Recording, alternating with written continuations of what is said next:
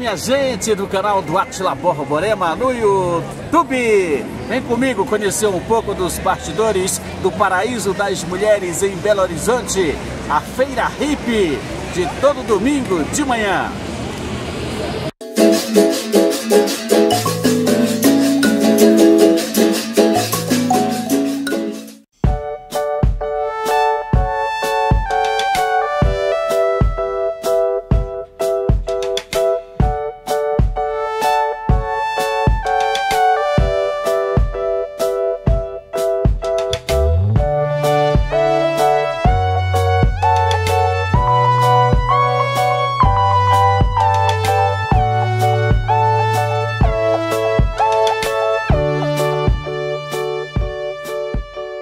Minha gente, o Monumento do Perulito em plena Avenida Afonso Pena, no coração nervoso do centro de Belo Horizonte. Todo domingo de manhã aqui acontece a Feira Hip, uma das feiras mais desejadas pelas mulheres no Brasil. Tanto que aqui é considerado como o ponto paraíso das mulheres. A Feira Hip atrai pessoas não só de Minas Gerais, mas de todo o Brasil, em razão da diversidade de compras que proporciona a você que vem aqui. Então vem comigo conhecer um pouco dos bastidores da Feira Hip da Afonso Pena, em Belo Horizonte, capital de Minas Gerais.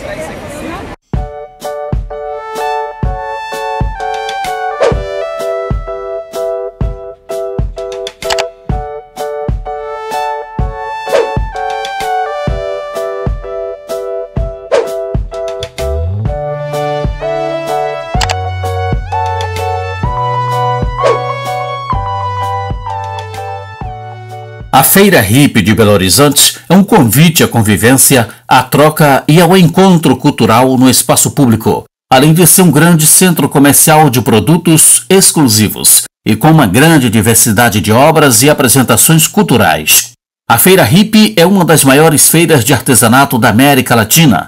Começou em 1969, com os hippies na Praça da Liberdade, mas foi crescendo, crescendo e hoje fica em uma das maiores avenidas da cidade.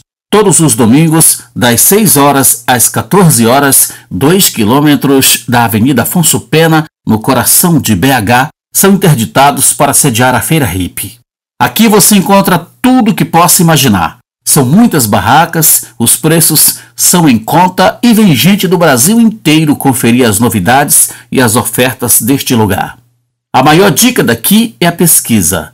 Tem muita variedade do mesmo produto e os valores costumam variar de barraca para barraca.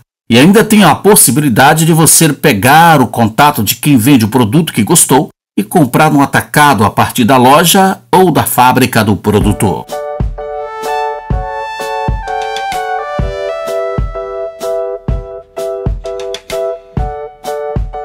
Belo Horizonte é tida como uma capital especializada em receber bem, conquistar corações e inovar em seus atrativos.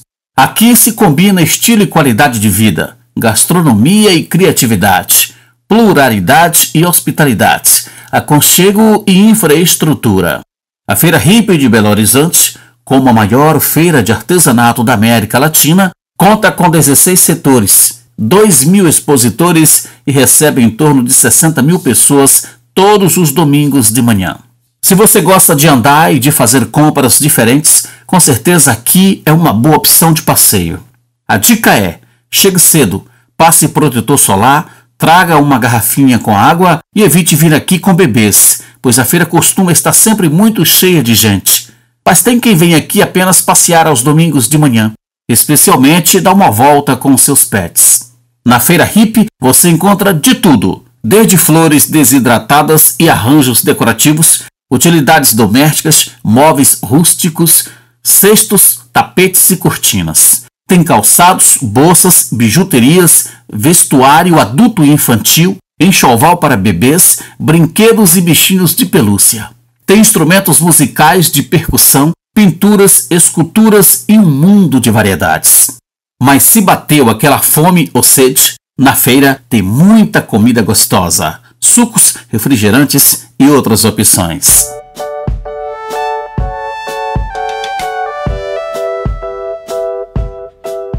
Hoje, a feira é muito mais segura que antigamente. O policiamento aumentou significativamente, mas ainda assim traga o mínimo para cá, até porque para facilitar a sua locomoção.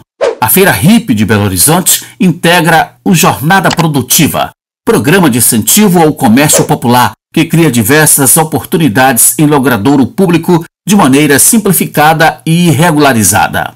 A Feira de Artes, Artesanato e Produtores de Variedades de Belo Horizonte, ou simplesmente Feira Hip, comemorou meio século de história em 2019. No início da década de 90, ela desceu a Rua Bahia e chegou à Avenida Afonso Pena, no centro da capital, onde permanece até hoje.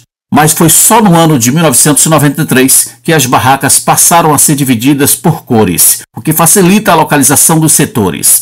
Aqui as barraquinhas transformam o asfalto da Avenida Afonso Pena em shopping a céu aberto, galeria de arte, restaurante e até palco. A Feira Hippie em Belo Horizonte é literalmente uma diversidade de compras e de lazer na Avenida Afonso Pena, com grande influência de artistas entre pintores, escultores, artesãos e cantores que se apresentam em meio à multidão.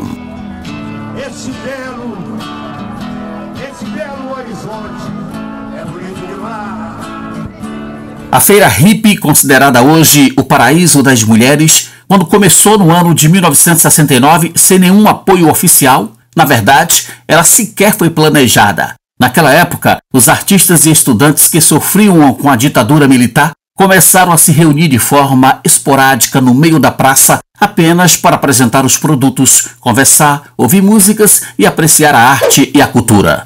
O movimento, que era leve e ia na contramão das tensões da época, agradava as pessoas que moravam na região e contava com a presença de artistas importantes. Aos poucos, a notícia dos encontros esporádicos começou a se espalhar e a conquistar visibilidade, razão pela qual o então governador mineiro Israel Pinheiro, no ano de 1971, decidiu transformá-los em encontros semanais. Com isso, Dois anos depois, foi publicado um decreto que oficializou a feira e a colocou nas mãos da Prefeitura Municipal o dever de organizá-la.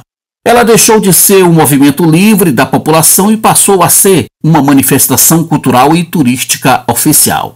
A partir daí, diversas mudanças aconteceram e novos artistas apareceram. Nessa época, surgiram os hippies, que acabaram tomando conta do espaço e transformando totalmente o conceito inicial. E como o movimento era intenso, ele acabou gerando prejuízos ao patrimônio público e à vegetação da Praça da Liberdade, que, como todos sabem, é tombada pelo patrimônio histórico e artístico de Minas. Razão pela qual, no ano de 1991, quando a praça começou a ser restaurada, a feira foi transferida para o local em que acontece até hoje, a Avenida Afonso Pena.